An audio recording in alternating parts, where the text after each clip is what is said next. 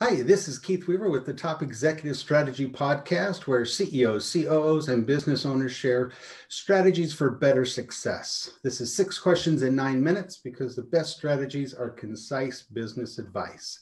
And so we're going to be concise and get right to our guest today. And in a few sentences, tell us who you are and what you do. Hello, I'm Taylor Wellman, co owner of Financial Potion, and we provide customized video marketing solutions in the form of production, editing, social media distribution, training, and live stream production. So, a, lot of things that you do, all to help businesses grow their business, but also get out there more. Yes. And, and video is becoming more and more just a necessity yeah, if you're not doing video marketing within your business, I have no idea what marketing you're actually doing that's working for you. right. Well, we're glad to have you here. Um, question number two What's the best thing about being a business leader? The best thing about being a business leader is having that direct connection with other businesses and, and just seeing the growth that you're able to help them achieve. Uh, you know, when you're an employee, sometimes you don't necessarily see the growth and, and the impact that you're putting onto people. But when you're a business owner, you really do see that impact and it just drives you every single day.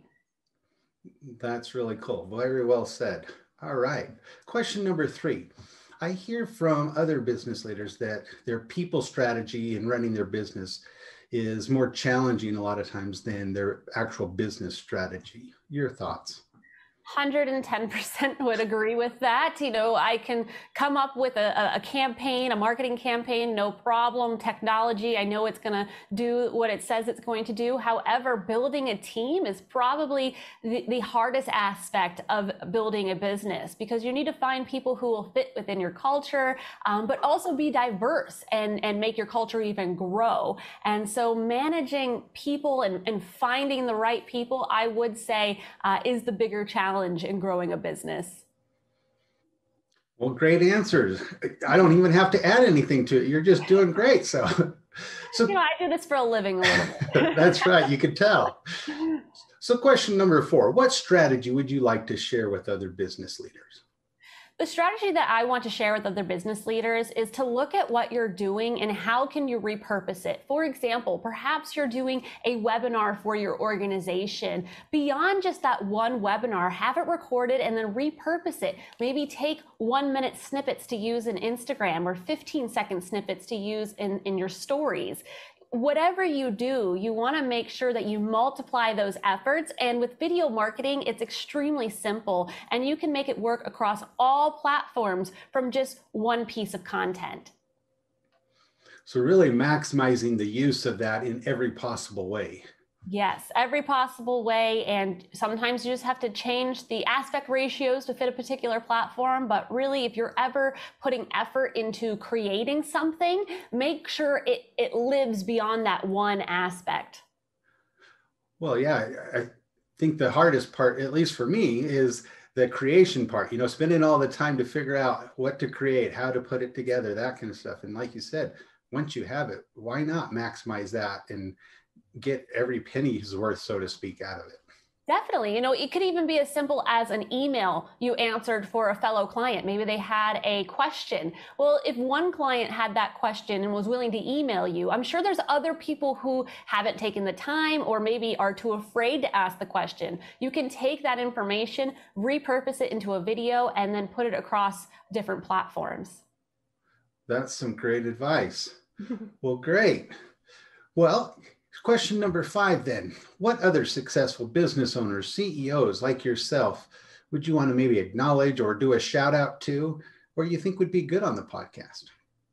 Well, I would definitely want to give a shout out to Jean Breeze. She is the current president of NAWBO, that's the National Association of Women Business Owners. And she's actually going to be possibly one of the first presidents in Phoenix that will never be seen in person given the current pandemic. However, what she's been able to do for the organization, uh, the people that she's been able to bring in into our virtual meetings have truly catapult the other members of NAWBO. And I know many members of NAWBO have said, you know, thanks to the leadership of Jean Breeze, they've been able to stay in business. They were able to get, you know, the PPP loans and they've been able to just maintain and thrive. And so definitely Jean Breeze would be someone I'd want to give a shout out to for not only her as an individual speaker, but really the leadership that she has been providing within the NAWBO organization.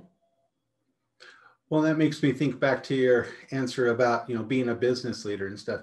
You never know the impact that you can have on other businesses sometimes. And like you said, especially in 2020, even just every little help could help the business and make a huge difference in some of the businesses.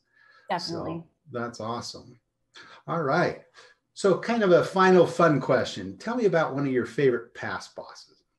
Oh, that's a really hard question for me, uh, finding a favorite past boss, because I'd say one of the reasons why I became a business owner is because I had a lot of bad bosses. I, I, learned how not to treat employees, how not to treat clients, how not to run a business.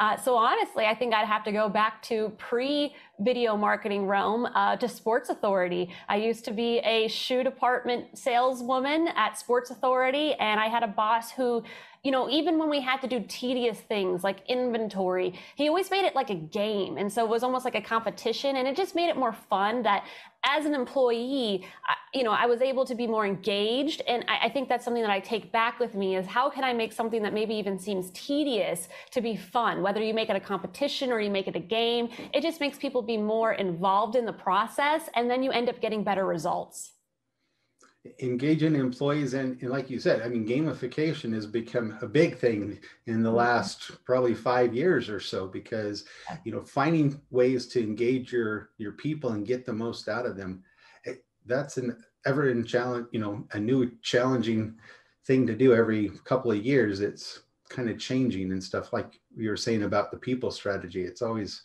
hard to figure out what's going on and how to stay up to date on it so. And if people are changing you know as we look at our different demographics and you know gen z it's just you have to learn how to best communicate with that that particular demographic as well. And so that was something i was able to learn from you know even good old rest in peace sports authority.